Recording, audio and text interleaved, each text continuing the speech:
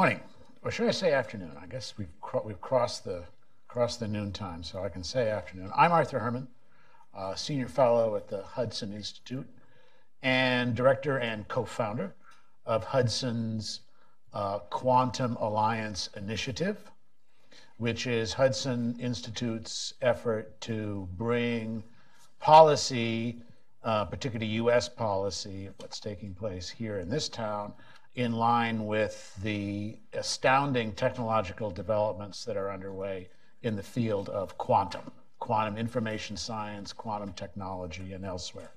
And this is, I'm happy to say, uh, the first of the conferences that we have are organizing and convening uh, as the Quantum Alliance Initiative uh, on issues relating to quantum this is my opportunity to give you a preview of coming attractions, which include, in addition to today's event, uh, October 16th, we'll be hosting a conference on Canada's Quantum Valley and the institutions there that are powering quantum technology research and applications uh, in Canada.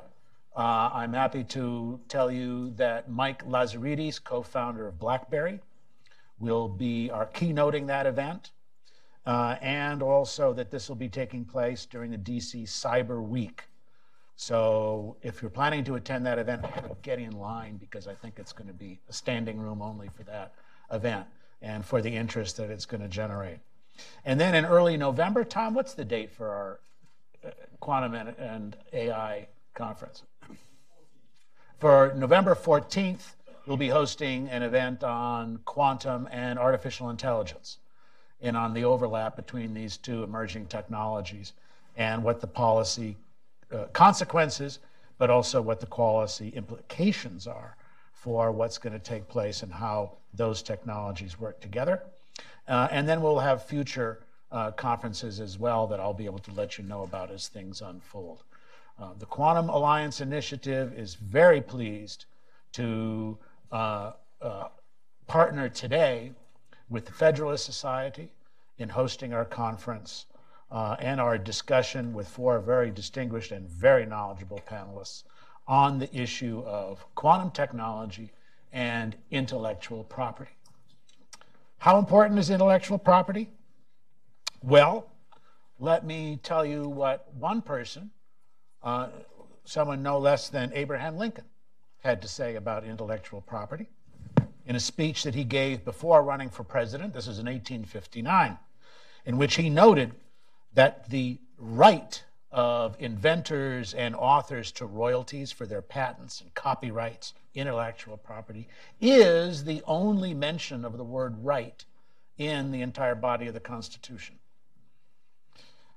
That, that and in the, it reads in Article 1, Section 8, Clause 8 to promote the progress of science and useful arts by securing for limited times to authors and inventors the exclusive right in their respective writings and discoveries.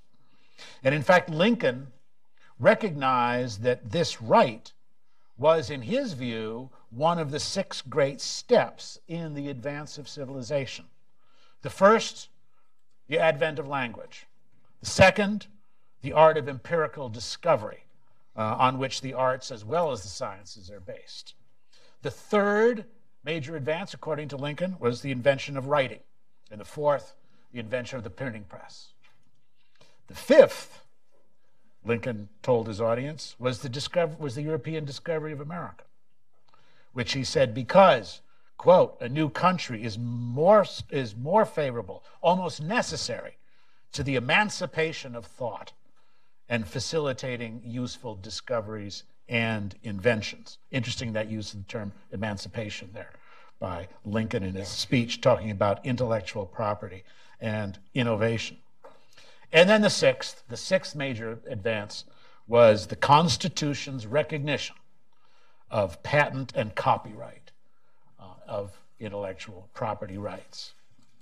In fact, he said, what this recognition does is, quote, secure to the inventor for a limited time the exclusive use of his invention, and thereby adds the fuel of interest to the fire of genius in the discovery of new and useful things. Well, today, the fire of genius is settling into the field of quantum computing and quantum technology. Uh, the coming revolution that's taking place in quantum technology that will transform information technology in the 21st century and is actually going to have an impact as great as the digital revolution was in the 20th century. And in fact, I think if Lincoln were alive today and looking at the transformations that are taking place, he would have to say that the quantum revolution represents the seventh major advance, as important perhaps as the inventing of writing or the printing press. I'll leave it to others to decide whether it's as important as the discovery of America. Quantum revolution, the change that is taking place in the an exponential growth in the means by which quantum computers and quantum technology will be able to supersede the uh, kinds of breakthroughs and changes that we've gotten used to in the digital revolution in the 20th century. What the implications are extend far beyond simply information technology to transformations in terms of uh, economic relationships, social and cultural relationships, advances in science and medicine, as well as, and one of the key focuses for us here at the Quantum Alliance Initiative, as well as major changes in national security and in defense and foreign policy. But that's for, that's for another discussion. The focus here is intellectual property, how that quantum revolution and quantum computing both relate to and will be fostered by the way in which we think about intellectual property and the role of the role of patent, copyright, those kinds of rights in the overall discussion. By the way, did you know Abraham Lincoln, uh, in fact, himself had a patent? 1849. Is that Did you know that? In fact, he had a patent for a device for to buoy vessels over shoals. He's the only president, as a matter of fact, to date, who has uh, a patent in his name. So, with Lincoln's shadow hovering over the course of this conference, let me introduce the first of our distinguished panelists for the discussion that we're going to have today, and that's Charles Duan. Charles Duan is a senior fellow and director of technology and innovation policy at the R Street Institute, where he focuses on intellectual property issues. Before joining R Street, Charles was director of the patent reform project at Public Knowledge, where he handled all aspects of pub, patent policy, ranging from outreach to the Hill to writing white papers and filing amicus briefs. Prior to this, he was a research associate to Professor Paul Ohm on a National Science Foundation project that investigated the policy implications of newly proposed internet architectures. Also worked as a patent attorney at Knobbe Martens.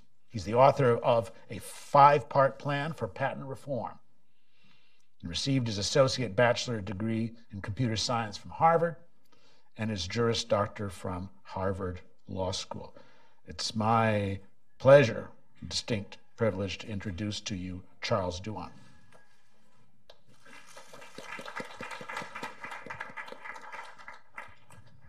Well, that, that was quite an introduction. Uh, thank you for that, and thank you to the Hudson Institute and the Federal Society for um, for, for arranging this um, really fascinating panel on a fascinating topic.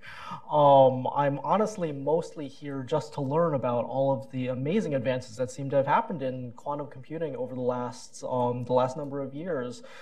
Oh, I, I, was telling I was telling some of, some of my co-panelists that the last time I heard of quantum computing was when I was in college, and the machines were entirely theoretical. So, you know, how, how far have we come at this point?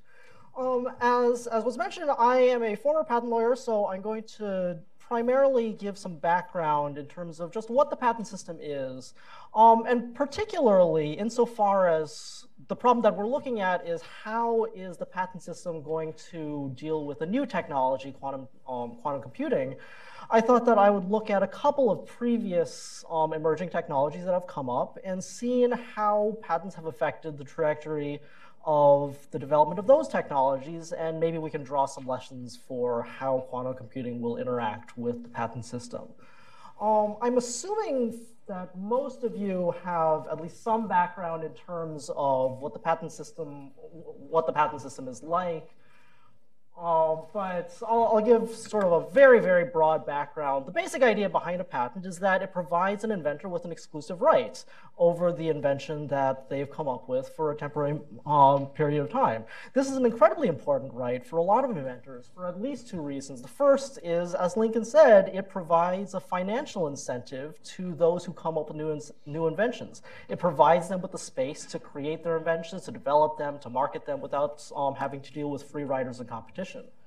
The second is that patents really facilitates um, what's known as tech transfer, tech transfer, the ability of companies to work together in terms of developing a product. An inventor may not have all of the knowledge of manufacturing processes or marketing techniques, um, and you know they'll need to be able to partner with other companies in order to do that.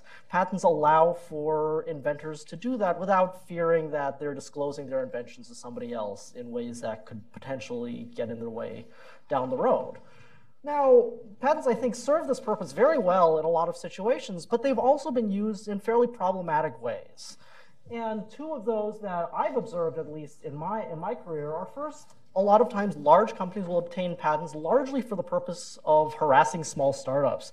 I, I worked um, on, a, on a case when I was at my old law firm once where we were representing a small company who had formed a joint development agreement with a large company they worked together for several years on this technology, and then the large company decided to terminate the joint development agreement and then file patents on the small company's inventions. Um, I've heard I've heard numerous numerous stories kind of along these lines where you know a large company will try to take advantage of basically their their legal strategies and financial might in order to bully small companies around. The second is that patents create an opportunity for opportunistic litigation. Patents are a right to exclude others from undertaking certain activities, and so a patent granted incorrectly could become a tool for basically going after legitimate businesses and trying to get them to, to, pay, to pay small amounts as a result of the cost of litigation rather than, some, rather than actual innovation. So the goal of a good patent system, especially when it comes to a new technology, is to try to get as much of the good while avoiding, while avoiding the bad. And this generally comes in the form of making sure that patents are issued um, under correct standards and in, in ways that ultimately promote innovation. So let's look at a couple of case studies. Um, I'm going to look at four of them. The first is um, the computer industry overall. The second is medical technology. The third is 3D printing. And the fourth, um, interoperability protocol. With regard to the first, computer and internet technology, this is probably the one that most people have heard of in terms of criticisms of the patent system recently. Um, the idea that there are these software patents on very basic computer ideas, and that you know so-called patent trolls have taken up these patents and are going around harassing small companies using them. So, so what exactly happened that gave rise to this? Well, what happened was that in the late 90s, early 2000s, the patent office really didn't understand computer technology. They didn't have access to the right sort of information to know what was new and what was not. And as a result, we ended up with a bunch of patents that really were granted on ideas that weren't very interesting or were fairly old. Um, it was really this lack of patent uh, of expertise combined with you know fairly substantial incentives to obtain patents that could be used against um, small companies in, in a variety of ways that led to a, a, glut of patents on the software industry that contributed ultimately very little value except to those who were able to use them for litigation purposes. In a lot of other industries, we're starting to see the same sort of pattern. Um, I've got a I've got a clever picture of a chain of blocks. Um, in case any of you are familiar with that, um, blockchain technology is of course one of the one of the new big platform technologies. And something I, I went to a conference and something that people have been observing is that a lot of the big banks are now applying for lots and lots of patents on blockchain technologies. Not actually technological improvements, but largely just applications of blockchain technology to various um, various purposes. And you know, there, there's a real question of whether or not, again, the patent office understands how this technology works, what its potential applications are, um, and is evaluating those sorts of patent applications correctly. Um, in, a, in, in the area of pharmaceutical and medical devices, I think we've seen kind of the opposite story, where the patents, you know, I, I, think that there are a lot of good criticisms about how the pharmaceutical industry has used patents, but by and large, people agree that the patents that are issued tend to be fairly good, especially on lead innovator products. Why have they not experienced the same problem that the software industry has? I think the answer is that it's fairly easy to tell what a molecule is, and it's fairly easy for the patent office to evaluate that sort of thing. They have the expertise, they have scientists who actually understand chemistry, and they've done a fairly good job as a result.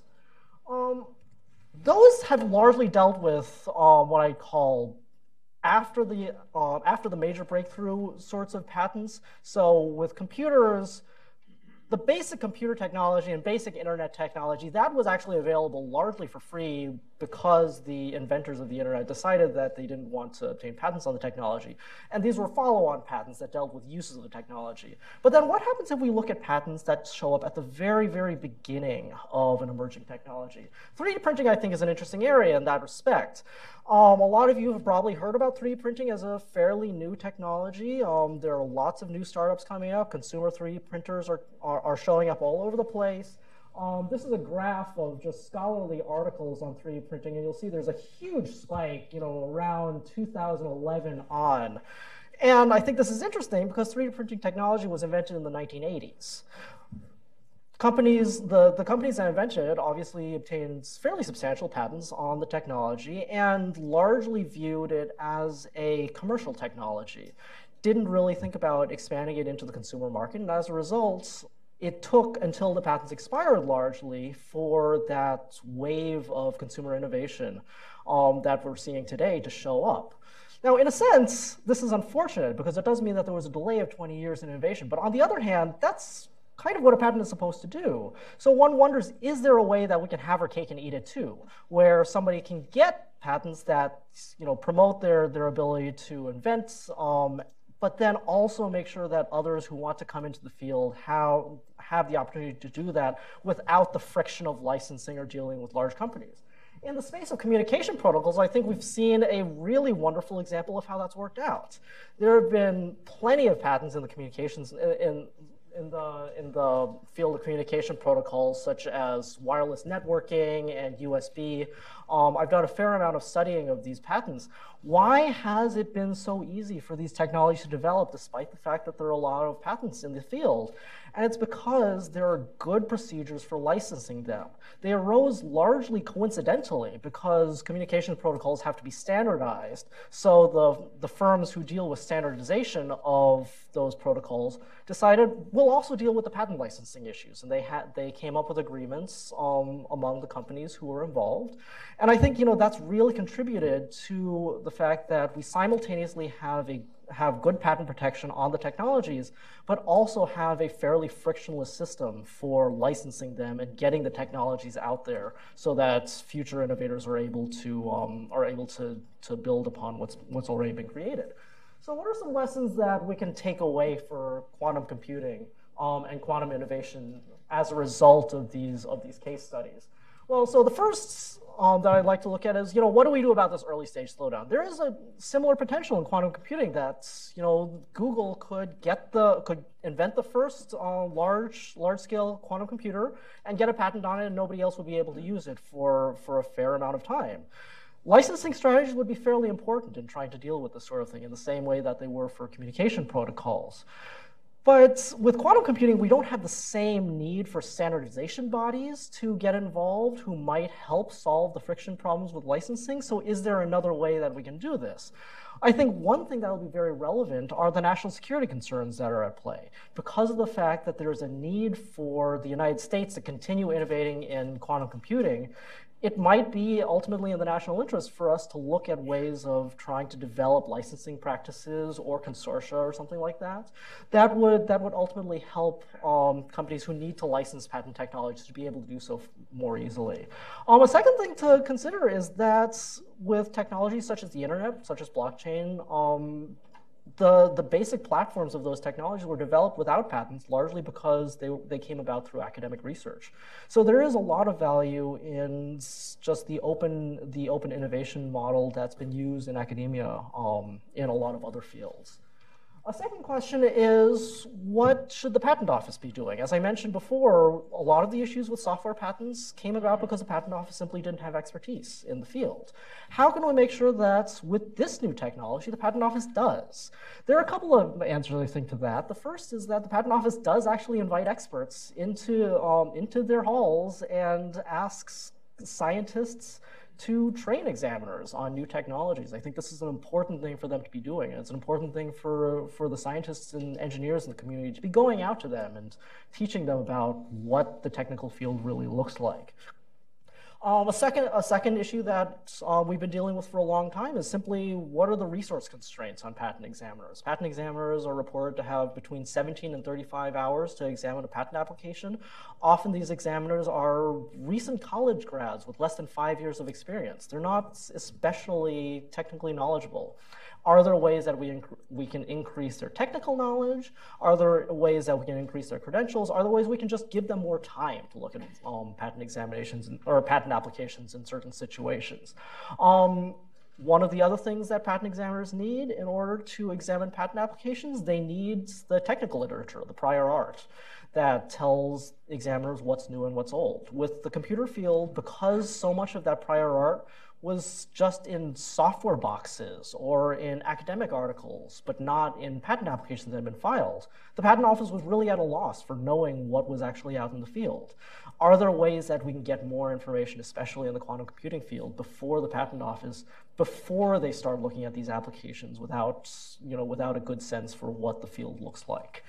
Um, and finally, for, for those who are innovating in the field, are there things that th that um, the engineers can be doing in order to try to, to, try to prevent the problems that we've seen in the past and ultimately make the patent system um, as effective as possible in the field of quantum computing. I think one of the things is there's this real corporate drive to let patenting um, drive the innovation process. I really think that that's somewhat backwards. I, I, remember from my practice many experiences where I was just sitting in a room with three or four engineers just coming up with ideas to patent. Not ideas that they were actually going to going to create, but just because the corporation needed to hit certain numbers in terms of um, in terms of patent counts. Uh, I think that that's that's fairly unfortunate, and it should be important for for engineers to be telling companies, look, we should be letting the innovation be driving um, be driving our intellectual property strategy not the other way around. Um, the second is that there are a lot of different forms of IP. As, um, as we know, there are patents, there are copyrights. Trade secrets, I think, will be incredibly important in the quantum computing field because a lot of the implementations of systems will probably be secret because of national security concerns. Um, and so companies that are concerned about their technologies getting out to other countries, for example, Patent protection, where you're required to disclose the entirety of how your invention works, may not be the best form of protection. Um, so I think that it'll be fairly important to look at the entire scope of the intellectual property universe. Um, and the final, the final thing is a message that you know I've been um, I've been giving to a lot of different groups is just um, for those who are applying for patents, try to get good ones. Um, I think that there are enough there are enough patent lawyers out there who recognize that a poorly written confusing patent can be fairly valuable because nobody understands what it says, and as a result, you can kind of say whatever whatever you want it to say. Um, I can I can understand this from the point of view of a litigator, but I can't understand it from the point of view of the public, and I can't understand it from the point of view of an inventor who probably wants to be able to go to inventor or go to investors and show them, look, we've gotten this patent on this really crucial technology, and you can read it and you can understand what we're doing.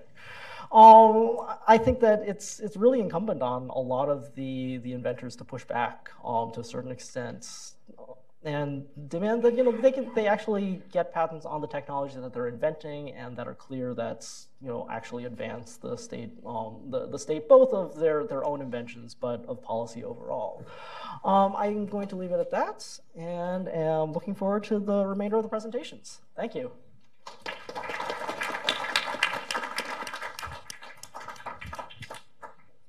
What we're going to do, thank you, Charles. What we're going to do is we're going to save Q&A until all our speakers are done so we can save time and really help to sort of generate an overall discussion that reflects all the different presentations and perspectives we're going to be hearing in the course of the in the course of our afternoon.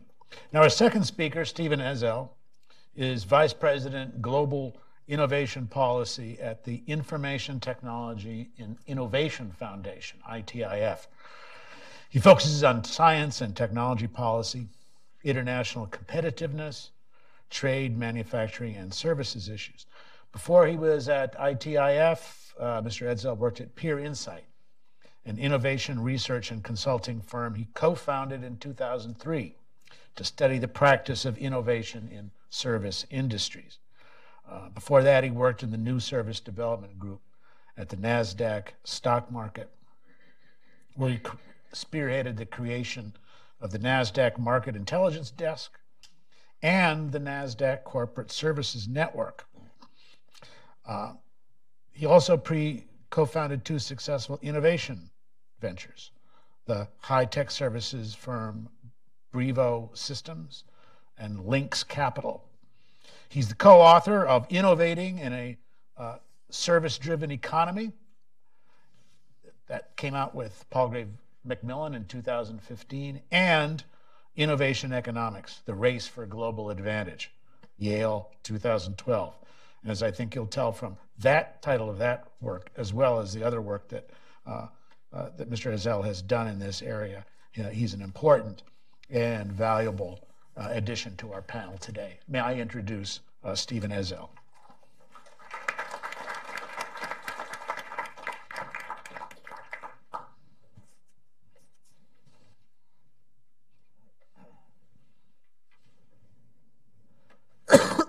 Well, thank you, Arthur, and to the Hudson Institute and the Federal Society for the invitation to be with you this afternoon.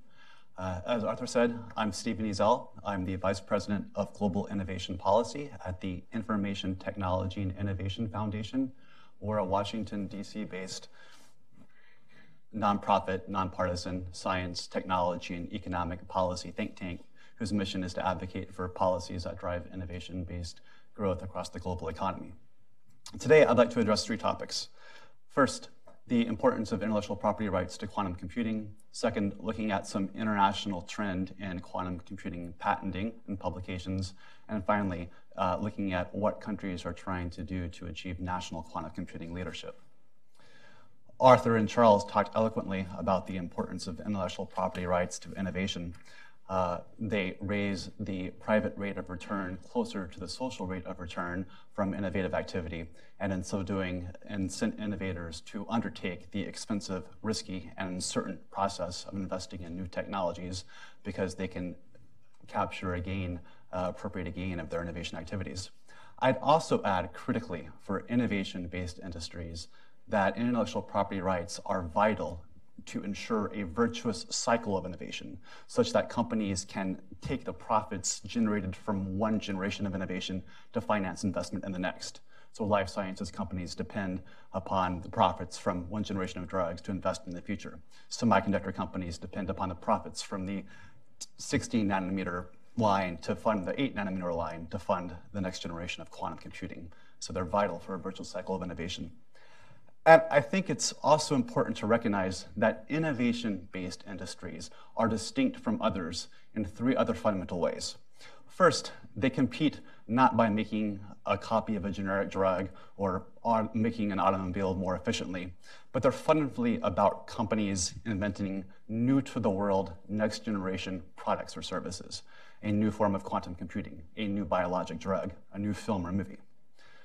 Second, they're characterized by very high initial fixed cost of design and development, but lower incremental cost of marginal production.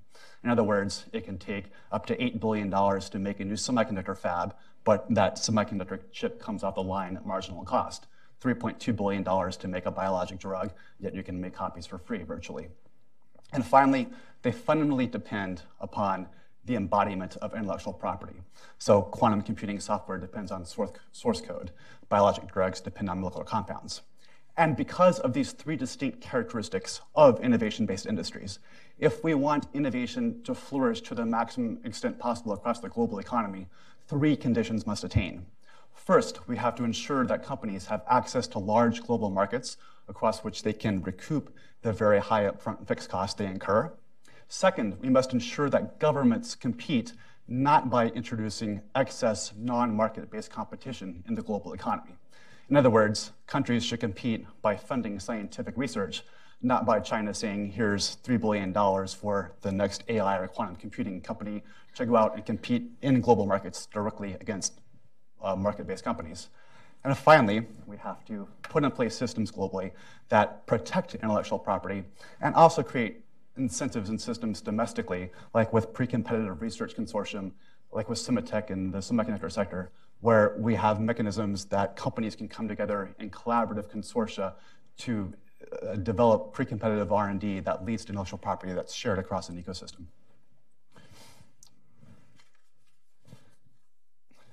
We haven't really said much about quantum computing.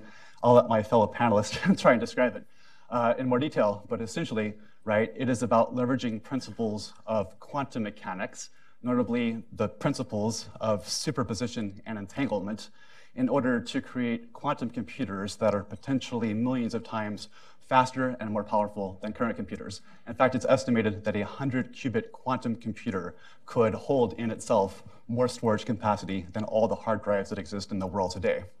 And why quantum computer quantum computing leadership matters vitally for nations is because the past emergence of new computing architectures led to an industrial and regional shift in where global computing leadership resides. So if you think about it, when we had the emergence of the mini computer in the 1970s, leadership shifted to Boston with companies like DEC and Digital and Wang. Then when we had the personal computing revolution in the 80s and 90s, leadership shifted to the West Coast in California and Seattle. The point is, as we move to a completely new form of computing architecture, quantum computing, global computing leadership is essentially up for grabs again. And it's going to be the societies that marshal the optimal set of resources in terms of funding, talent, university research, and commercialization that lead in this transition again. That is what is at stake across the global economy. Also, it's important to recognize that quantum computing will become a foundational input that determines the competitive capacity of every single downstream industry and economy that uses this computing application. So we need to lead in quantum computing if we want in the future our life sciences companies, our manufacturers, our energy technology innovators to have the capacity to innovate to the best extent possible. It'll be a source of high value jobs and output and exports for the US economy. And finally, it will have immense national security implications. Uh, China recently said that they have deployed a stealth radar that can detect the quantum signature of our stealth aircraft. And they're also working on systems that can use quantum sensing to detect the location of submarines under the oceans. So, absolutely vital for economic competitiveness and national security. Oops. So, up until 2015, the United States was pretty clearly, along with China, a leader in global quantum computing patenting uh, in terms of quantum computing, quantum cryptography, and quantum sensors. However, what has changed since 2014 is that given researchers' better ability to control qubits and develop quantum computers, there has been a massive increase in global quantum computing patenting since the year 2014 as quantum computing related patent publications increased 430%, and patent applications for uh, uh, uh, uh, applications of quantum computing like sensing, cryptography, communications increased by 470%. Driving this growth in particular has been China, which is shown here in orange. Since 2013, the number of quantum information technology publications uh, from China increased by 750%. And when we look at it in terms of applications, and now China is shown here in, in blue, uh, they have introduced three times as many patent applications uh, since 2013. And as the research company Patinformatics LLC states, North American organizations may lead the development of the quantum computer itself, but Asian countries especially will lead in applications of quantum computing. I'll skip that. So what does this mean for countries? Uh, as Martin will talk about uh, Canada's experience, a number of countries around the world have put in place very clear national quantum computing leadership strategies Australia, Canada, Germany, China, the United Kingdom, the European Commission. I think it's important to understand that China does represent a significant competitor to the United States here. Uh, they have made it, quote, a clear national initiative to surpass the United States in quantum computing leadership within a decade. They've recently announced the development of a $10 billion, 4,000 square foot National Laboratory for Quantum Information Science Research Institute in Hefei. And they are leaders in the world in both quantum cryptography and quantum communications, including now building a 2,000 kilometer long quantum communications pathway between Shanghai and Beijing, and leading in the deployment of quantum communications satellites and satellite to ground quantum networks. Uh, our friends in Europe are also focused on this. The European Commission has launched a $1.2 billion EU flagship initiative on quantum technologies and developed a European quantum technologies roadmap. Uh, probably the most sophisticated strategy in the entire world is the recently announced UK National Quantum Computing Technologies Program, which will invest $337 million to develop four hubs of quantum computing excellence in sensing and metrology, imaging, communications, and computing. Uh, they talk in that plan about the need to develop, quote, a UK quantum ready workforce, and they are uh, funding curriculum development and PhD programs at universities around the United Kingdom to make that cap- happen. They also have this really cool thing called the UK Quantum Innovation Fund, uh, which offers up to $200,000 prizes uh, to British companies who are using quantum computing to drive innovative uh, applications within their industries. So, what is the United States doing?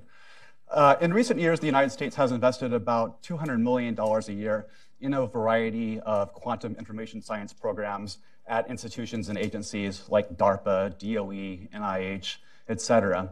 Uh, but to date, we have not had any kind of coordinated national strategy for quantum computing.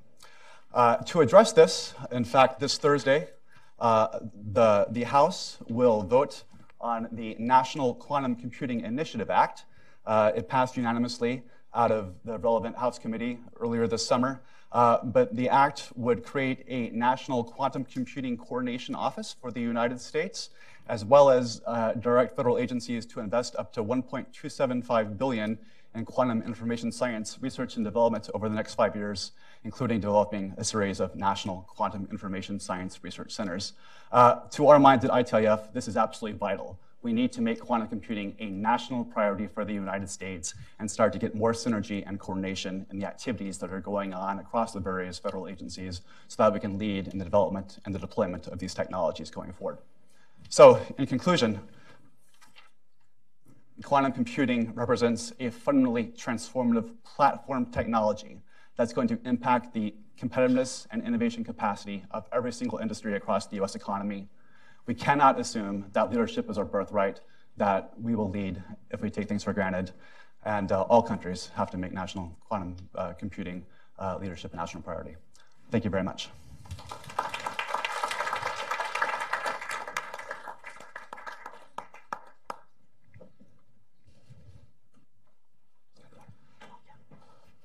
Thank you, Stephen.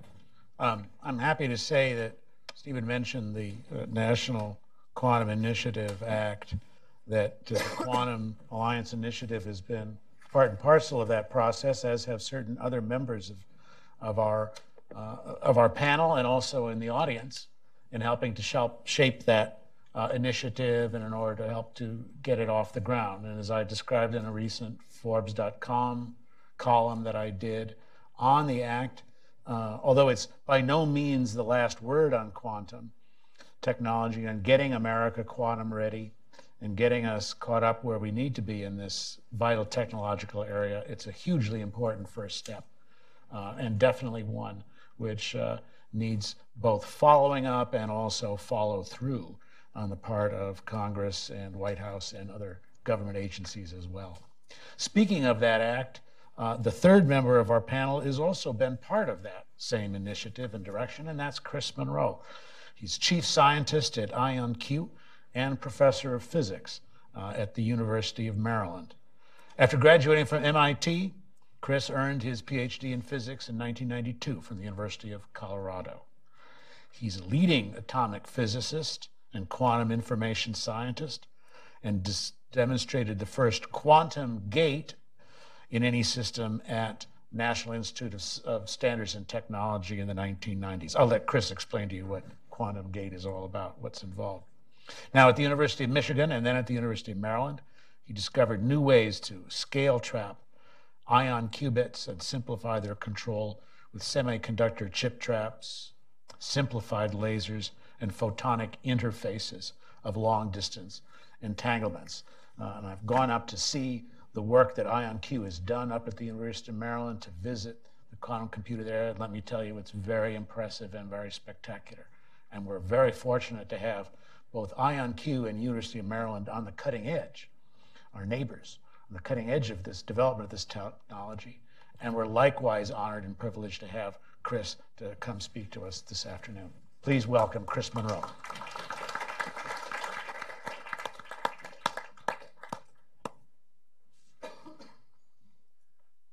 Thank you, Arthur, for the generous introduction and also uh, for the Hudson Institute and the Federal Society for having this panel and, and be part of it. Um, so, in fact, um, very recently I've uh, taken over as CEO of, of IonQ as we, uh, we've been a little bit heads down last, last few years, and we're going to start to, you're to start to hear a little more about the hardware we're developing. And so I can give you a little bit of a perspective from both a, a small business uh, side and a university side of this field. So, um, uh, we'll, we'll start with the second order perturbative expansion of the non-relativistic uh, Schrodinger wave equation. To actually, it, it's um, the great thing about quantum information science to me is that it, it, in a sense, makes the whole topic easier. The way quantum physics is taught at universities is so esoteric and overly unnecessarily mathematical. Um, uh, the structure of the atom, how solids behave when you when you use information as the as the root uh, as the fundamental element in quantum, it just is a little bit easier. We we're fun, we we are familiar with bits, zeros, or ones, and in quantum we have zeros and ones, superpositions. And the way you add quantum bits, so, so-called qubits, together, um, it, it's great because it's not just physics anymore. It becomes computer science, mathematics, information theory, chemistry. It's much broader than just physics. So um, uh, when I teach quantum to physicists, I teach it from that perspective. And there is math involved, but you know, there's math in a lot of things.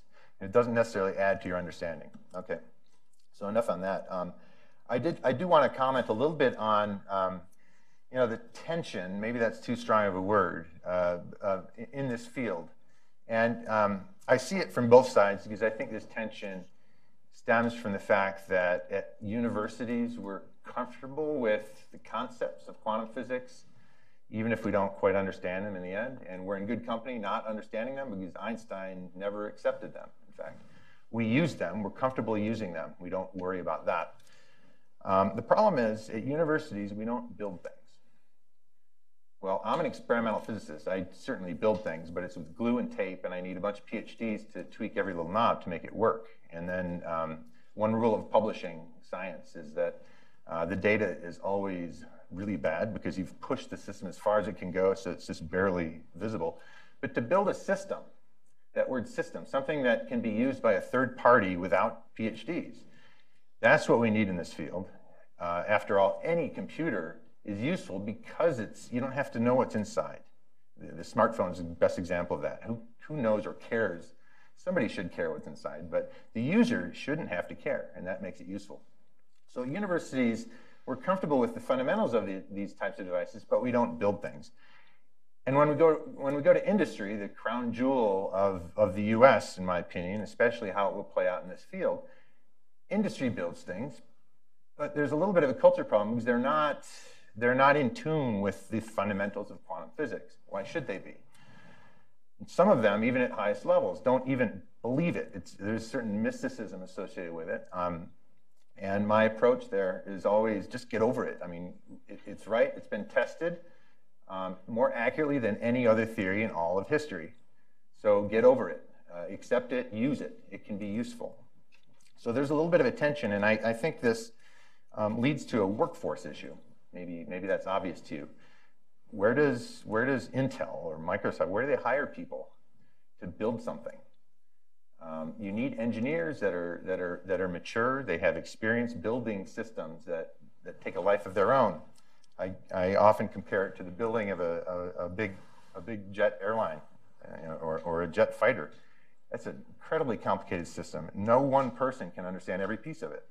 Um, and this is what industry does best. They do systems engineering. They, they, they understand that aspect. And this is going to this is going to play huge roles in, in uh, the building of quantum technology in the future. Um, so uh, I, uh, Stephen mentioned the National Quantum Initiative. Yes, I, have been intimately involved with a large, a few dozen uh, folks across the country, uh, from, from academic institutes and centers to uh, industrial leaders, uh, the, from the behemoths down to startups, to, to help Congress write potential legislation that apparently will be, will be voted on very soon. And it attacks this workforce issue by establishing, um, by establishing very focused centers, and only a few of them. It's not divide by N funding as usual, where you cut everything down to the bare bone and, and you, you get basically a lot of nothing. I hope I'm not quoted on that. But, um, but in this field, it's, it's, it's, it's advanced far enough that we can identify a few areas that really need to develop a workforce. And by having industry play with universities, uh, our national laboratory system in both the Department of Defense, Department of Energy, and the other agencies, um, th they're great playgrounds to, to, to, to invent a future workforce that can uh, eventually be deployed uh, in industry in the long run. Now, regarding IP issues, um, which is the focus of this, of, of this session, um, I'm certainly not an expert. I will say I know infinitely more than I did five years ago. As a startup funded by venture capital, uh, uh unfortunately, we, we do need to, to uh, establish a vital IP portfolio. And I say unfortunate. I mean, it, it's good that we do this for our protection, but it's unfortunate also. I think uh, Charles mentioned this that, that it's the currency of companies. You know, a check mark. How many how many patents do you have in this field? Um, what's inter- what I've learned about uh, patenting? A couple of things. One, maybe this is obvious to those of you that thought more about this than me, but the most useful patents are the ones you certainly don't anticipate until you build the thing and you figure out you know, exactly what's important. You may keep them as trade secrets, that's true.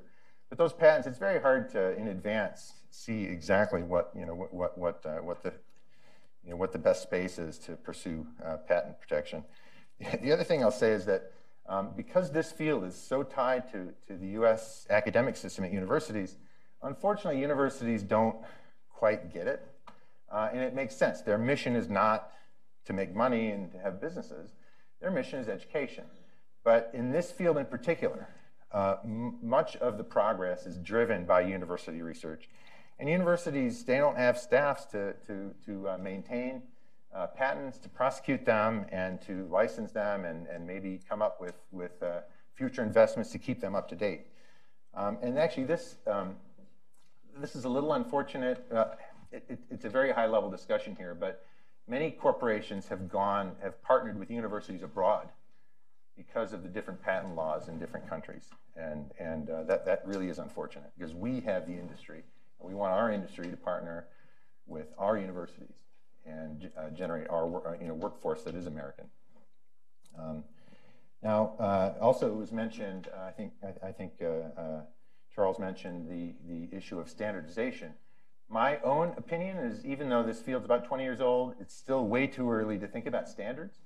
It's sort of like um, going back in time to 1950 and seeing the first transistor and saying, boy, let's, let's, uh, let's patent uh, high-level software that can program billions of these transistors. Well, it, it, there's all kinds of innovation that has to happen before standards make sense. Um, on the other hand, I, uh, as, as, Arthur mentioned, I do come from NIST, the National Institute of Standards and Technology. I spent 10 years there uh, a while ago. And um, it, it's interesting in this field, NIST has, is really the one agency that has been there all along in this field, has innovators, has four Nobel Prizes in this field um, between Boulder and Gaithersburg, Maryland here. Um, and they continue to be very vital um, in this field. And I think as we as this field matures, we need to keep our eye on standardization. The Sematech model, I think, was mentioned. We're not we're not ready for that. Um, but at some point, quantum technology is going to advance so far that IP and and uh, being uh, you know, defensive about your IP and so forth is going to be an impediment to progress. You're going to have different companies trying to build the same thing and reinventing the wheel.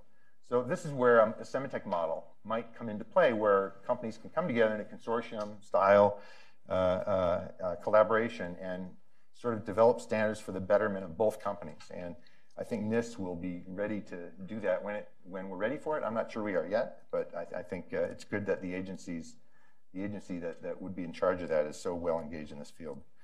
Um, so I guess um, I guess I'll, I'll, I'll quit, but I, will I'll stop by saying that quantum technology. I didn't talk much about the applications, but we've heard a little bit of their overlap with security issues, and this goes both ways. You may have heard that quantum computers can hack, they can break codes. Um, unfortunately, this problem is really far away because it requires systems that are way bigger than we can even think of in the next five years. It's hard to predict in this field, but I would make a prediction that's way, way more than five years before we can, we can break public key encryption systems. However, um, quantum technology impacts the other side of security, and that is encryption, in order to maintain security in, in the signals you do send.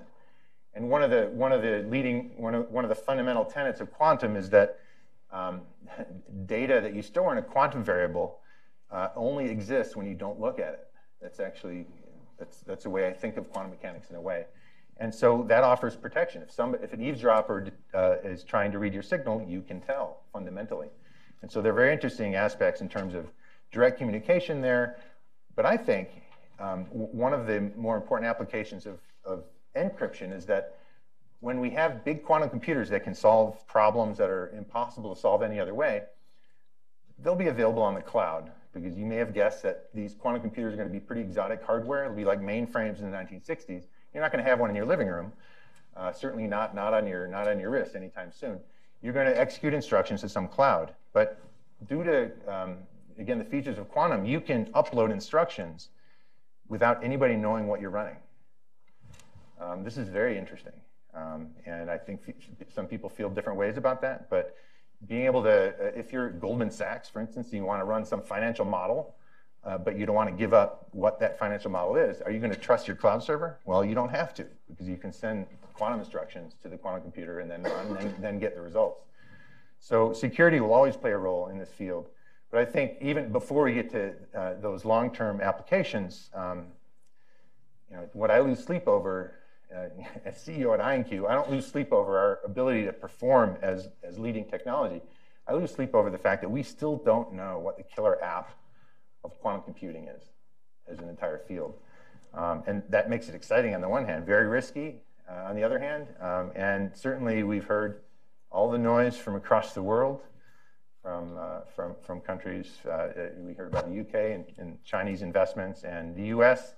Again, we have, we have the mighty industry here and the mighty university system. And I think with this National Quantum Initiative that hopefully by the end of the year we'll see some action on, will stimulate um, uh, much more activity here. And of course, intellectual property will, will, uh, will continue to, um, to play an important part as we bring this, the, the, the, this research and development from the university and academics to, to industry where it can be useful.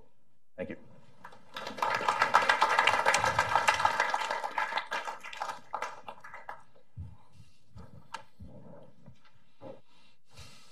Thank you very much, Chris.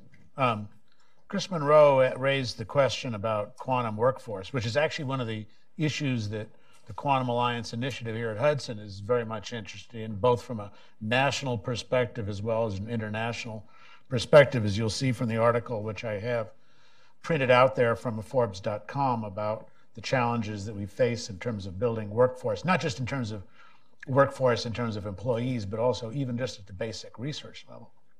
But, but Chris did pose the question rhetorically, sort of, you know, where does Intel and Google, Microsoft, where do they get their workforce? Well, what I can tell you is, a little secret a lot of people don't know, that a lot of that workforce comes from University of Waterloo in Ontario. And our last panelist is someone who is, uh, uh, shall we say, born and bred in that cabbage patch, who knows the ecosystem of the University of Water, uh, Ontario, the Institute for Quantum Computing, and the whole development in Quantum Valley that has taken place and has grown so uh, amazingly in Canada over the last decade, which we'll be talking about in our next conference on October 16th. Um, now, Martin Laforest is Senior Business Development Manager uh, in, in quantum technology at ISARA Corporation, which is the leading uh, security solutions company dealing with uh, production ready quantum safe cryptography, uh, where companies and agencies and organizations such as NIST are now looking for ways in which to prevent uh, and to hedge against uh, quantum computer penetration of our leading uh, public encryption systems. Dr. Laforest has more than 15 years' experience in raising awareness about the benefits and threats of quantum technologies. And he plays a central role in helping ISARA's technological partners uh, and customers understand how the advent of quantum computing will force them to reshape their data and network security. Now, prior to joining ISARA, um, Dr. Laforest was head of scientific outreach at the, Univer- at the Institute of Quantum Computing at the University of Waterloo. Um, and he's done a great deal of work there uh, within the Quantum Valley uh, technology ecosystem, but also in terms of outreach with other uh, institutions in other countries in dealing with both the benefits and also the risks involved in quantum technology. He holds a PhD in physics, specializing in experimental quantum information. And it's uh, uh, a great pleasure, uh, as always, to have uh, Martin Laforest on the dais with us and to hear him talk about the rela- relations of IP and of quantum technology from a Canadian's perspective. Martin?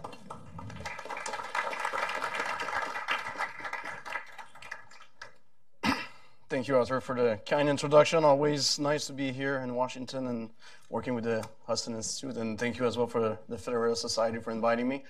Uh, so it's been very American centric. Uh, I was not expecting anything less uh, coming here. Uh, so I feel a little bit like the, you know, the, the, the guy from the north coming and trying to tell you, the big guys, how to do things. This is not, this is not, of course, my, my goal. But uh, I've been invited here to talk a little bit about what we call Quantum Valley. Uh, based in the region of Waterloo in Canada, and, and also to, uh, to talk about uh, the very unique intellectual property uh, policy that University of Waterloo has, which we believe played a big role in the innovation ecosystem, and then will play a big role into this uh, quantum valley ecosystem that we're trying to build, or this vision we're trying to implement. So hearing my, my co-panelists, I have about an hour worth of comments I would like to, to go around. There's a wealth of information. A uh, couple of things I'd like to mention, maybe before uh, diving into my presentation, is uh, just maybe following up to uh, Professor Monroe on uh, the importance of academic and industry uh, partnership, as well as you know national partnership between the United States, Canada, and other nations. Is that this is a huge adventure. It's a big endeavor that we're all in it. It, it can transform society, really transform the way you know, we live in the future. And, uh, you know, I started in this whole thing maybe about 15 years ago where we were just having fun in the lab. Like it was a cool thing. Yeah, we're, you know, we're coming up with important application to get funding, but really it was just a science project.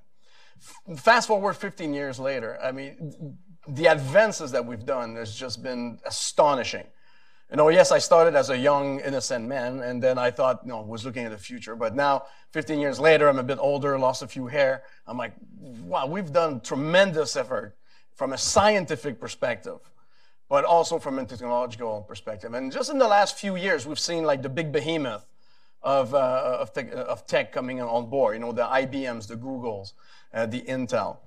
And I think where that relationship is becomes very important. Well, first of all, uh, you know, Dr. Herman mentioned most of those people hire from universities. Uh, I lost many, many friends. I don't have any people to play golf anymore in Waterloo because they're all down at, at Google or at, uh, at IBM. Uh, but my perspective on this is that you know those big companies, the private sector, is really good at building, at, at scaling things up in a rough, not so great way. And what I mean by this, they can build big systems that kind of work. So he's the last speaker. So well, uh, who's talking to me now? and uh, as opposed to uh, academics, which are really good at building small stuff, but really, really well, right? So, you know, maybe until about 2012, 13, experimental quantum computing was mainly an academic thing. We're, we're building two qubits, three qubits, but they were like really good.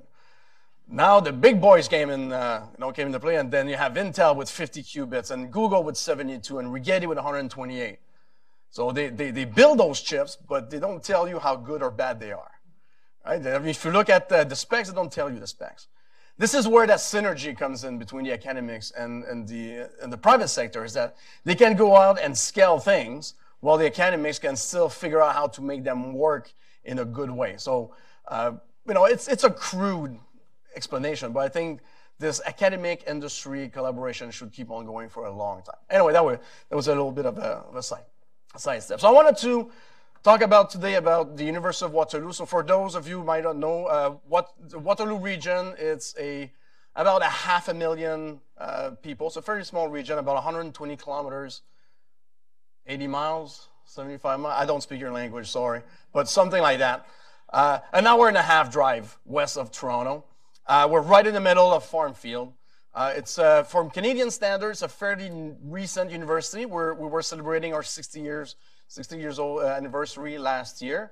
Uh, so Canadian university tends to be like old and clunky, but University of Waterloo is fairly recent, and it was built out of necessity, in the sense that the University of Waterloo came up because there was a need for engineers and mathematicians and insurance people. So Waterloo is well, used to be, it's still farmland.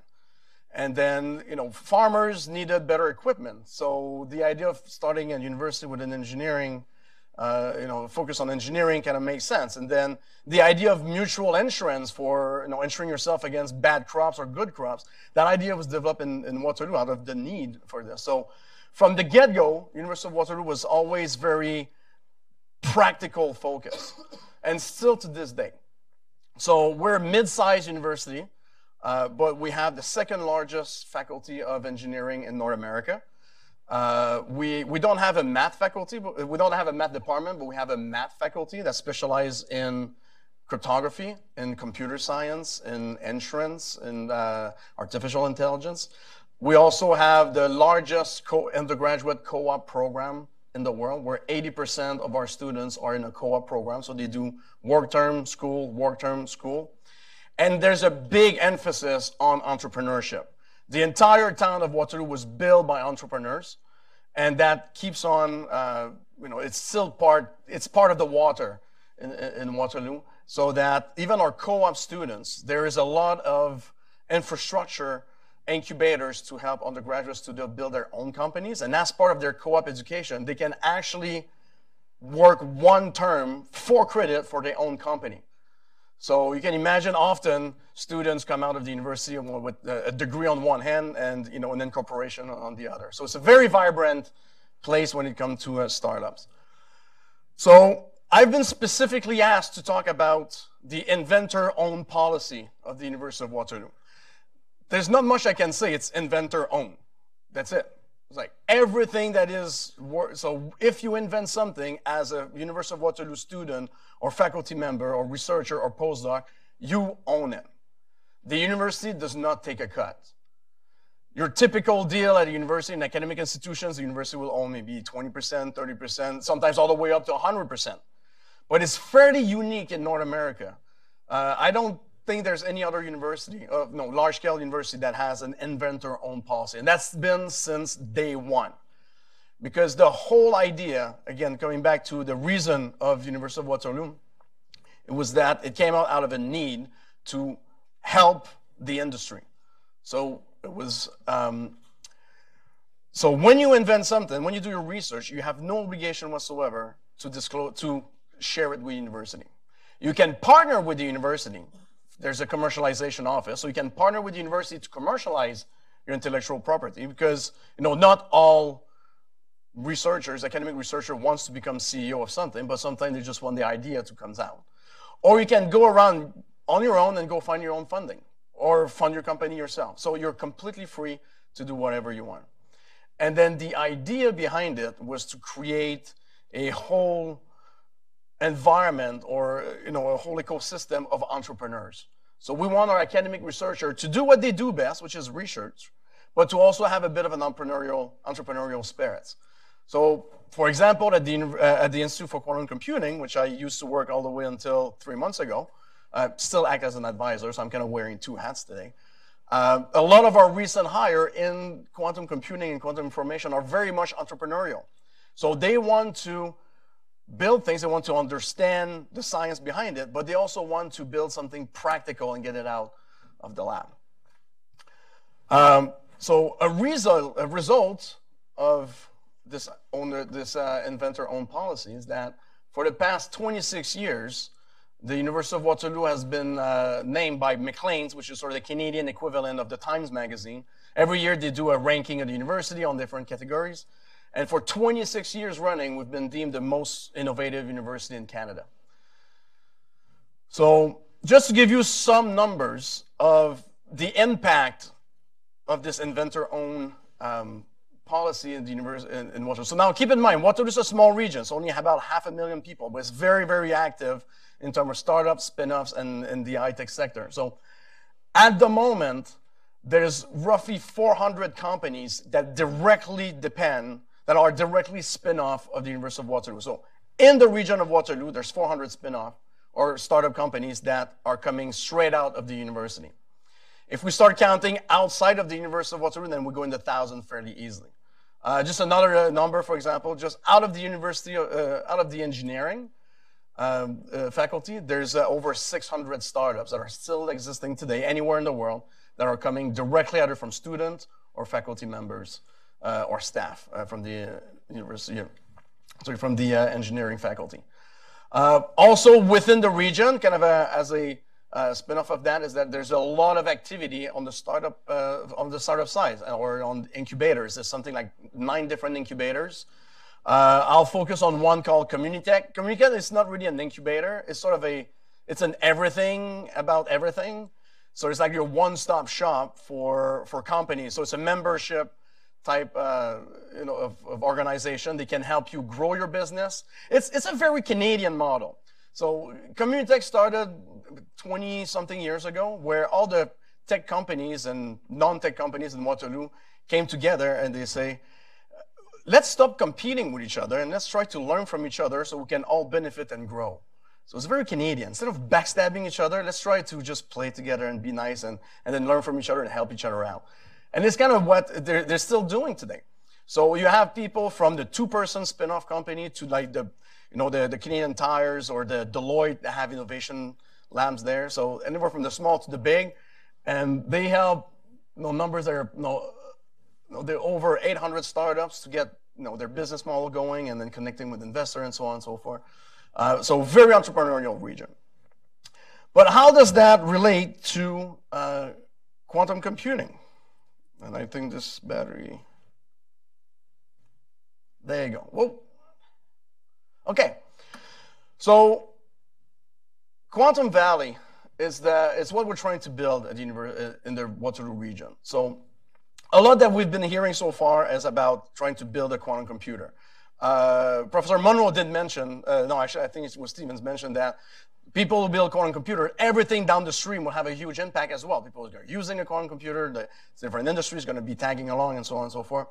Uh, but, it, but in the Waterloo region, we believe that the opportunity is much bigger than this. It's not just about quantum computing. Like, yes, this is the moonshot. It, it, it's got revolutionary application, but the field, the quantum opportunity is much larger than this. You could have application from quantum sensors, information security, quantum materials. So what we're trying to build in Canada, in the Waterloo region, is a full innovation ecosystem that will allow us to build an industry around quantum and in all the potential opportunities from computing to medical devices to materials and, and, and things that we haven't discovered yet. So a couple of the, of the major player. So we have, for example, the Perimeter Institute, which is a theoretical physics think tank. Commercialization is not even on their radar. Like their, their motto is the theoretical physics of today is the technology of tomorrow. They just look at the big ideas, cosmology, particle physics, condensed matter theory. They're just you know, blackboards, chalk, and then let's go at it. Then you have the Institute for Quantum Computing, which is a lot more applied. So we still do fundamental science, but we also do prototyping, experimental research. 300 plus uh, scientists from PhD students to uh, faculty members looking at applications of quantum for practical technologies. And then you have places like uh, Quantum Valley Investment, where it's a venture capital fund that's solely focused on investing in potential companies that are building quantum technologies. Uh, there's also a whole bunch of programs that are aimed at accelerating research. For example, the transformative quantum technology, which has three main focus, building a quantum computer powerful enough that can demonstrate quantum supremacy, doing ultra long distance quantum cryptography, and doing quantum sensors of practical for practical applications. Uh, we have Quantum Valley Ideas Lab, which is sort of a you know a, another project from to develop the prototype all the way to the a product that is ready to be commercialized. Already today, out of this ecosystem, we've been upward of 13 different startups and uh, startups and spin-off in all spheres of quantum technology. So from quantum software to hardware, sensors, security, even consulting. So 13 startups, it's, it's a fairly small number in the scope of things, but it's still to this day the largest concentration of startups in quantum anywhere that I can think of. So some of them are already on the market. I will take, for example, Quantum Benchmark. So if you've been following the news lately, Quantum Benchmark is a software company that built a software that directly helped the people trying to build the hardware. So when you build a hardware, there's errors. Their software allows you to study those errors and tell you how to properly do your operation to mitigate those errors. Also, they build a software that if you use a quantum computer, and it gives you an answer. Can you trust it? Mean, if you have a quantum computer that can outperform a classical computer, you use it, it gives you an answer. How can you be sure you have the right answer? You cannot check it because your computers are not good enough. So they've built a software that sort of gives you with what accurate, you know, how much trust you can put in those answers. So for all the people trying to build a hardware, this is a very practical software, and they just signed a licensing agreement with Google not so long ago that when you use the online platform of Google to play with their quantum uh, hardware, you can use the quantum benchmark software. Uh, another example would be uh, ISARA, which is a company I work with. So ISARA, we are developing uh, you know, new, the, the new generation of cryptographic protocol that will secure you against quantum attack. So Professor Monroe said, you know, we won't have a quantum computer that will break security anytime soon, and I cannot disagree with this.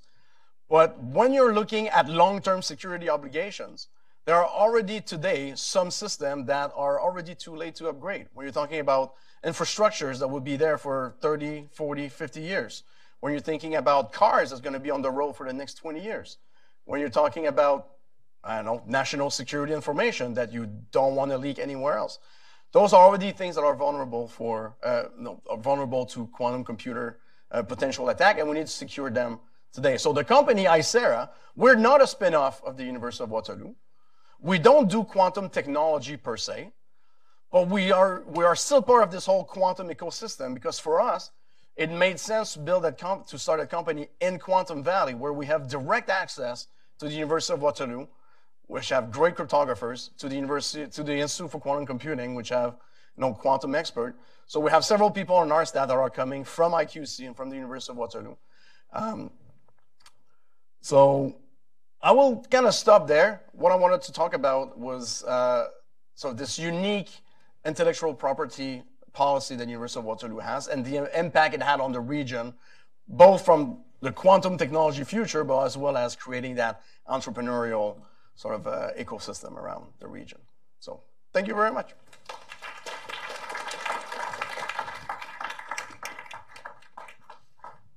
Thank you, Martin.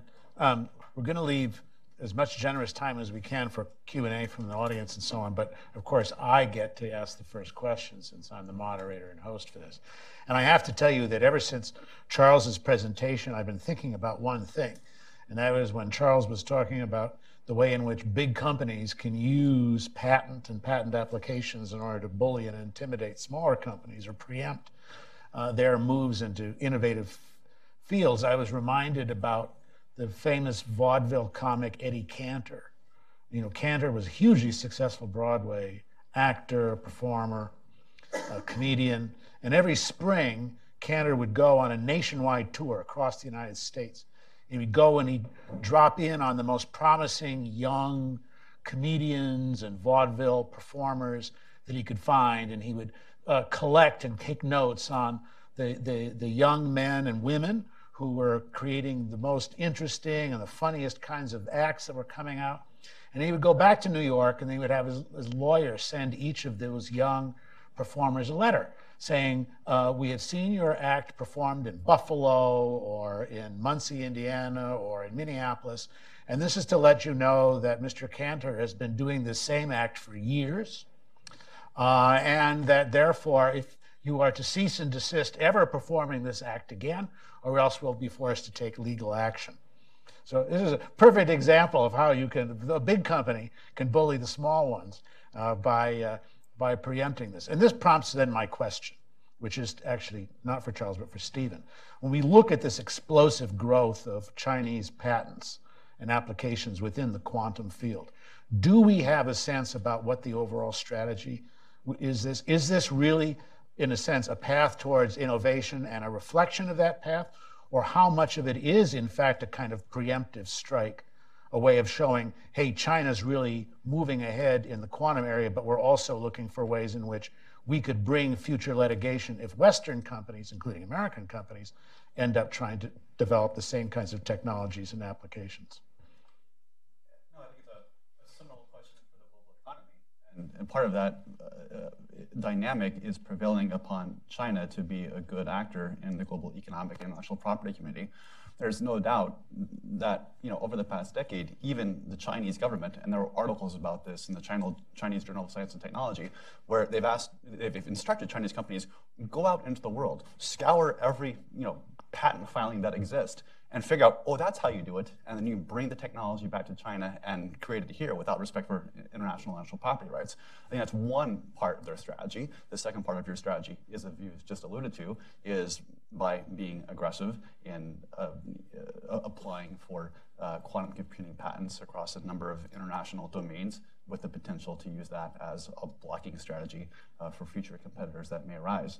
Uh, so, you know, from our perspective, uh, it's important uh, both that we make our companies aware of what China's strategy has been around leveraging intellectual property to achieve leadership in advanced technology industries and prevail upon them that the way they compete broadly uh, must be predicated on enterprise-led market-based terms. Hmm. Very interesting. So we're going to open up the field to the questions to the audience. Um, we'll have uh, someone with a mic come around so that we'll all be able to hear your question. The only thing I'll ask you to do is, is to state your question in the form of a question, uh, to state your name, and then to give whatever affiliation you care to give at the same time. So you've got a question up here in the front to start. Thank you very much. This has been awesome. My name is Ann Vroom. My question is with regard to open source collaboration. Uh, it seems to be giving rise to new forms of licensure. Do you think that that approach will apply in, in the quantum field? I'll take a I'll take a first stab at this. Um, it's a it's an interesting question. I think that you know the the open source movement in the software field has been you know it, it's had very very interesting effects on the way that software is developed. You know I think that there were there were many years when it was just sort of seen that there was a battle between the proprietary companies and the open source companies, and now we're starting to see that there are some very interesting partnerships that can happen. IBM is taking up Linux as a core part of their their product strategy. Um, people are realizing that consulting on open source products is, is very effective. Um, one of the difficulties when it comes to you know more hardware-based technologies, I guess in a sense, is that the um, the strategies that have made open source technology really work are copyright-based strategies. Actually, they take advantage of the fact that there is copyright in a computer program, and basically license the copyright in ways that promote the interests of the open source community.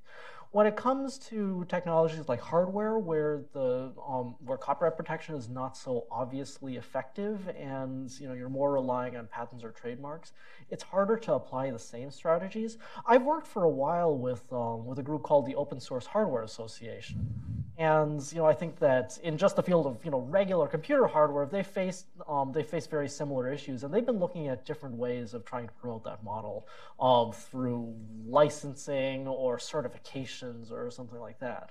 Um, but you know, I think there there definitely is interest um, in that in, in that possibility and you know I, I can definitely see that as quantum computing develops uh, both in the hardware and in the applications and software field uh, we'll probably see a variety of perspectives in terms of ways that people want to advance the fields and it's going to be important in the same way that was important for software that you know we're, we're um, accommodating both of those different types of interests I might add to that that um, one flexibility uh, we see in the field right now, if you look at the what we call the full stack from the user interface all the way down to the controller of the hardware, down to the nitty gritty of the hardware. Um, the hardware um, outfits, I mean, I, I wearing my IonQ hat, where we're, we're, we're, you can draw a line at where you open up the system.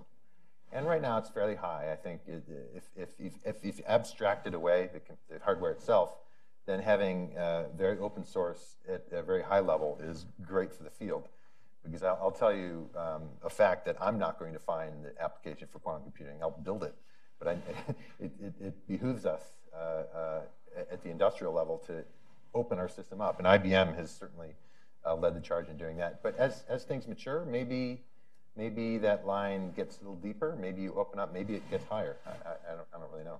Yeah. And, and, and I've talked to uh, to several of the of the companies working on the hardware, and uh, and then some of them actually have, have said, along with what uh, Professor Monroe was saying, that there, there's a part where uh, it has not really any value for them from a, a, monetary point of view, and also they're not really good at it. So like, let's open source it, and then let people play with it, and maybe they'll solve it for us. Right? So, so it's a way to get work done at, at, at free cost. Uh, but, but also because, you know, I don't know, on the, on the compiler side, like, is there, comparisons, how you go from the abstract down to the physical layer. Is there really a value there? It's hard to say because it's it's still an open scientific question. So they just toss it in the wild and say like, come up with something, and maybe there's a prize at the end, but it's open source. So there's a value, but not a monetary value. There's like a practical value to it. Crowdsourcing. Yeah, pretty much. Yeah. yeah. Interesting. We have a question here on the side. Uh, thank you, uh, Dave Rabinowitz. Uh, the first patent on a transistor was filed in 1925. The first successful transistor was made in 1947 and didn't even conform to the patent. The first transist successful transistor that conformed to the patent wasn't until 1957. Uh, nobody made any money on that patent. Is this likely to happen again with quantum, uh, quantum computing? And does, is that a good incentive for going open source? Well, well I, I, just know that sometimes, just for fun, I'll go on Google's uh, Google patent, just see what kind of things has been patented, and this is just my gut reaction. Some of them are just, I think, ridiculous. Uh, it's almost I was wondering if it's not just a contest of who files the most patents, just so they can say I got the most patent. Uh, yeah, so that's my personal opinion. Some of them are definitely important, uh, but I come from a bit the um, so I, I don't work for a hardware company and I haven't picked any winner because I don't think any of the technology we're pursuing right now will be the winner. Right? So it's it's a good way forward. You have to go forward. But personally I think people were are you know patenting the screw on their Josephson junction or whatever.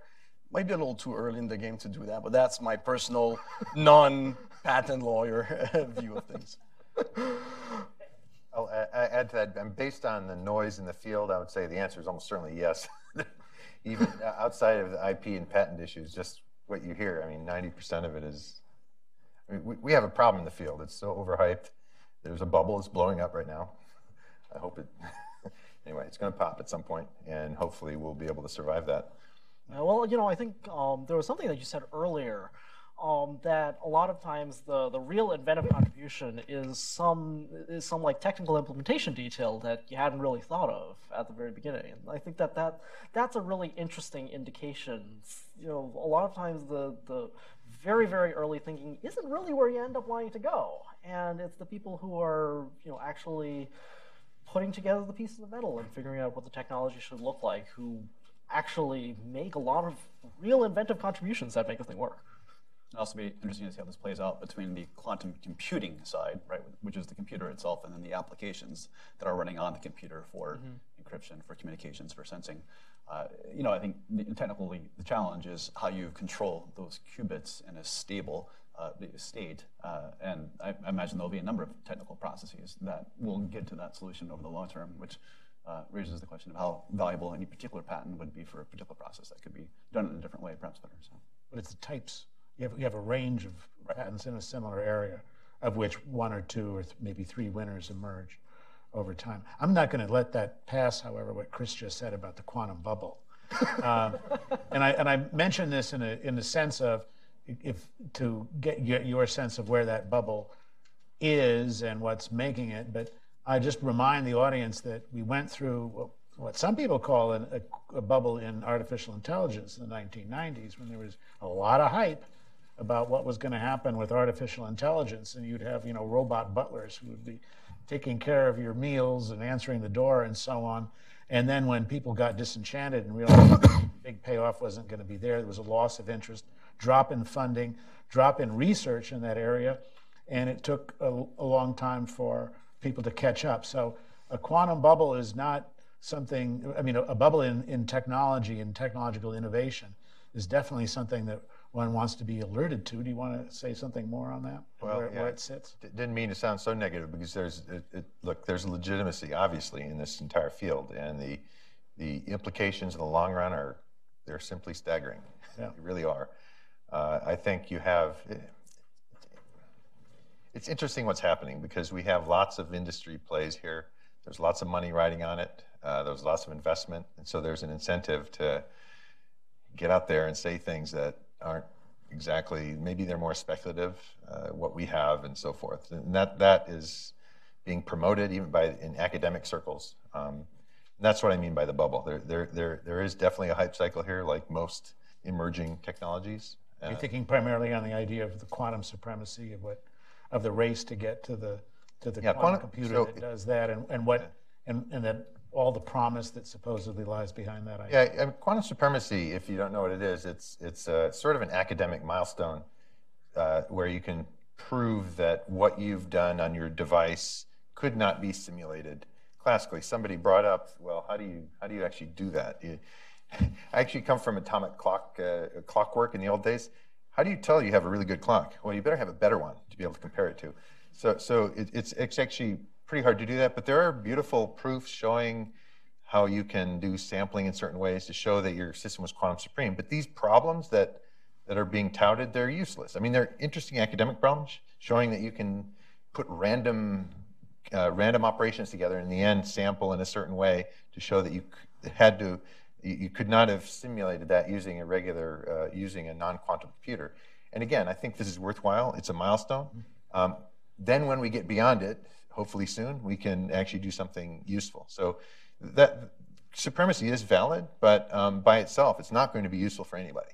No. Just, and, and in fact, not. I think it'll be more interesting if we don't see quantum supremacy, because then the physicist in me turns on and says, well, maybe quantum mechanics is wrong. I think that would be even more interesting. Uh, question here to the front, and then we'll go over to the middle. Thank you very much for a wonderful discussion. Paul Joyle from NSI. We've heard a lot about what um, America is and Canada is and is not doing related to this. Can you please help fill in the blanks? You touched on China, but my question about China is what role is the private sector in China playing in this whole quantum uh, business, as well as um, universities, and how do they play in this whole competition and innovation are they involved, for example, in facilitation of patents, et cetera? So give us a perspective on, on that a little more, please. Universities in China. You're, you're, yeah. So, so I actually just returned from China a month ago. I'm, I'm on the board of, a, of Tsinghua University's uh, Institute for Quantum Computing. And again, the academic in me, I have some very useful collaborators over there. Um, the, the, big, uh, the big operation we hear about uh, in, in Hefei is run by U USTC, University of Science and Technology China. Um, and that's, that's where all this money is being herded. Um, so the universities are definitely involved at a very high level. Um, in fact, I just noticed in last week's issue of Nature, USTC had a 10-page ad uh, right up front, and a couple of them were on the on their quantum uh, on their quantum hub there. Yeah, and so, so you meant you also uh, asked about industry. Um, uh, Alibaba, Huawei, Tencent. I mean, there there are several conglomerates. I mean, one special advantage they have over there is that the, these conglomerations and the government are sort of the same thing. so they have they have deep pockets and they can do things quickly. Um, and in fact, I know the, the the Alibaba chief here in the U.S. is a former colleague of mine in Michigan. He's in Seattle, um, and and it's it's it's staggering what his budget is and what, what they really want to do. And so I give them a lot, you know, a lot of credit. I think their their industry over there is they're still in the catch-up phase. You know, they're well behind U.S. industry, uh, but they are really motivated and they have the entire government behind them. so. Any idea signs of that investment in the product? Well, we've we've read uh, at Alibaba in particular. There's a 15 billion dollar figure, but this includes AI and machine learning, and quantum is part of that. I don't know what fraction. And, and there's Baidu also, who's got uh, I don't know the exact number, but it's it's in the billions. And then they have a team, and they they already have labs, and they're shown. Um, so industry, government, and universities, they're they're, they're really collaborating there. And, and, and for China, when it comes to uh, quantum communication or quantum cryptography, there nobody's going to argue that they're not the leader. They're they're ahead of everyone. So that was their focus for the last 10 years. A lot out of uh, Hefei. Uh, so they were the first ones to put up a satellite and show long distance quantum cryptography. They've never been a big player in quantum computing all the way up to about two years ago when they made that big announcement. And they're moving fast and they have a lot of people who are extremely well educated, very strong scientists uh, they're going to catch up real quick. So that, that satellite system you referred to, uh, that has also downlinks in Russia and Austria. For sure. Russia, I'm not entirely sure. Uh, I don't know those. So I know they have a downlink, one in uh, one in China and one in, uh, in, Austria, where they demonstrated that video. After that, I don't know. Your guess is as good as mine. To be clear, that that um, satellite experiment is actually a very heroic engineering job to send single photons that distance. Um, it, but the rate at which it works is almost, I mean, it's really useless. It's, yeah. It's, it's, but it is a, it is a, we're here, you know. It's we, a demonstrator. We, we can spend a couple of billion on a spacecraft and, and show quantum, you know, signals can be transmitted. Yeah. But I'll, I'll just give you an example of how the, the different size and speed is. So there was a kind of a, a, quantum space race to get the first satellite up, and probably the second contender is Canada. We have a, a, an effort in, in Waterloo, which is, you know, I think to this day has been funded to the level of, I think, $25 million. There's one faculty member, maybe 10 PhDs, couple postdocs.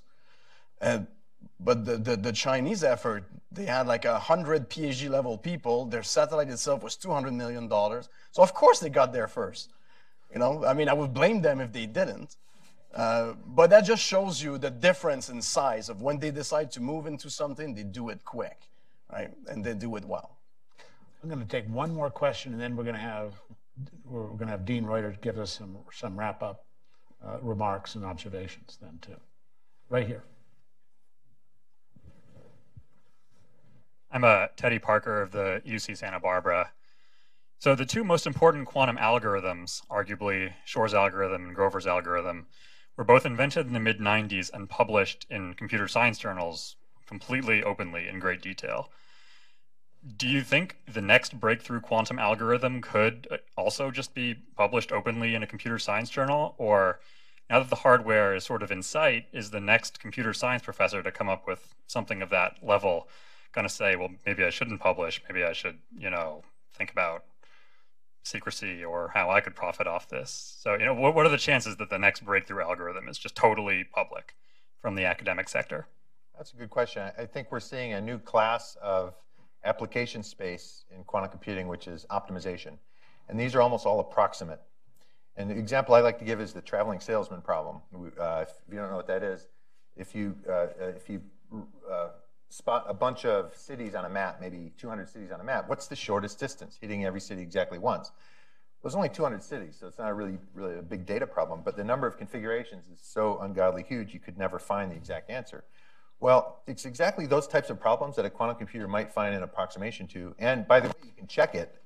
you can uh, see that it's a shorter distance than the best non-quantum solution. Um, and so there's families of, of, of, model solving algorithms like that. And one actually, to, to, get to your question, just a few months ago, I haven't read it carefully, but uh, I, this came from an undergraduate student at Texas, I think. You know, the Netflix algorithm, recommendation system. If, if you have a profile of the movies you've watched and really like, what, you know, how, how would you rank some, uh, an extra movie there? And so this is a very important logistics algorithm. And this, I think this undergraduate showed that there's a quantum advantage to that algorithm. Um, and it's in the open. It's, uh, it hasn't been published. It's on the arXiv which means it's out there, but it hasn't been peer reviewed yet. But uh, from what I've heard, it's right uh, from within uh, the community. And so that's a good example. I, I, think your point is still good that there may be others out there that we haven't heard of. Maybe they're buried in Fort Meade somewhere.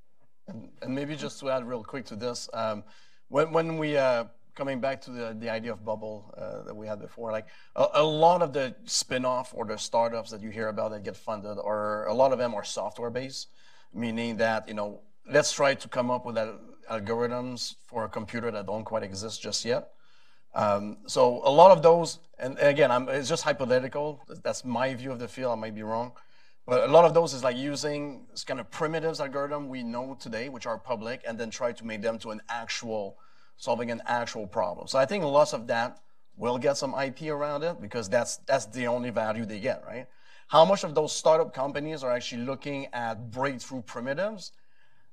I would I would guess a very few because those are so far and few in between that might not be a good business model to, to follow. So I think on the concrete application of known algorithms, there will be a lot of IP, but the chances that the breakthrough algorithm come out of academic and free I think it's, it's, it's quite high.